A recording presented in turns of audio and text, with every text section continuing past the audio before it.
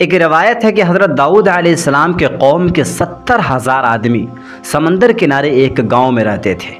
उस गाँव का नाम ईला था। उस गाँव वाले लोग बहुत ही फराखी और खुशहाली की ज़िंदगी बसर कर रहे थे। इस बेपनाह मालो दौलत ने उन लोगों को सरकश बना दिया था। फिर अल्लाह ने चाहा कि उन लोगों का इम्तिहान लिया जाए।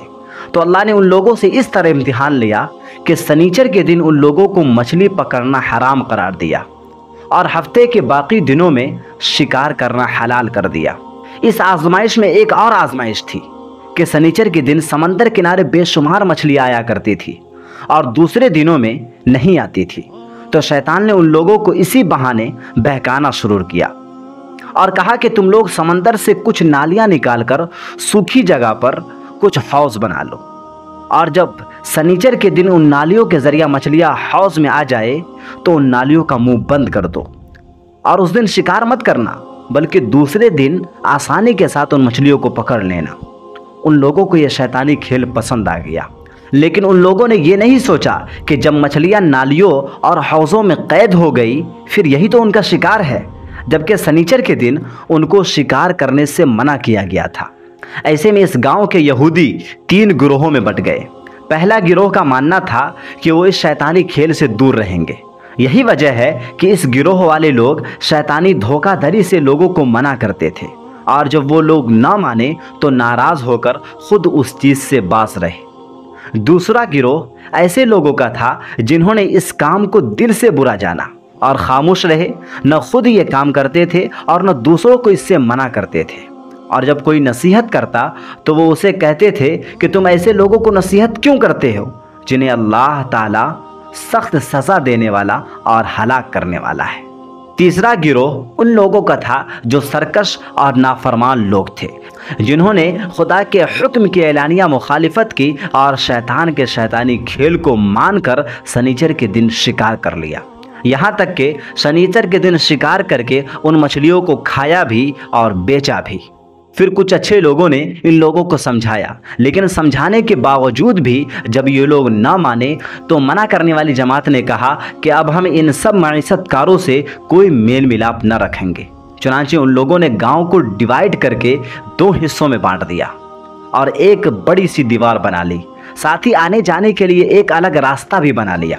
फिर हज़रत दाऊद आसमाम ने गज़बनाक होकर शिकार करने वालों पर लानत फरमा दी। इसका असर यह हुआ कि एक दिन खताकारों और गुनागारों में से कोई भी बाहर नहीं आ सका। तो उन्हें देखने के लिए कुछ लोग दीवार पे चढ़ गए। तो क्या देखा कि वो सब के सब बंदर बन चुके हैं। जब लोग उन मुजरिमों का दरवाज़ा खोलकर अंदर दाखिल हुए तो बंदर अपने अपने रिश्तेदारों को पहचानते थे और उनके पास आकर उनके कपड़ों को सूंघते थे और ज़ोर ज़ोर से रोते थे। मगर अच्छे लोग उन बंदर बन जाने वाले लोगों को नहीं पहचानते थे। उन बंदरों की तादाद बारह हज़ार थी। ये सब तीन दिन तक ज़िंदा रहे और इस दरमियान कुछ भी ना खा पी सके, बल्कि यूँ ही भूखे प्यासे सब के सब हलाक हो गए। शिकार से मना करने वाले गिरोह हलाकत से बच गया और सलामत रहा। और सही कौल ये भी है कि दिल से बुरा जानकर खामोश रहने वाले लोग भी अल्लाह की हलाकत से बचा लिए गए। इस वाक़े को कुरान के सुरा बकरा आयत नंबर पैंसठ में कुछ इस तरह बयान किया गया है। फिर तुम्हें अपनी कौम के उन लोगों का किस्सा तो मालूम ही है, जिन्होंने सब्त का कानून तोड़ा था। हमने उन्हें कह दिया कि बंदर बन जाओ और इस हाल में रहो कि हर तरफ़ से तुम पर धुटकार फिटकार पड़े। इस तरह हमने उनके अंजाम को उस जमाने के लोगों और बाद की आने वाली नस्लों के लिए इबरत और डरने वालों के लिए नसीहत बनाकर छोड़ा। इसी वाक़े को अल्लाह ताला ने दूसरी जगह सुरह आराफ आयत नंबर एक में कुछ इस तरह बयान किया है।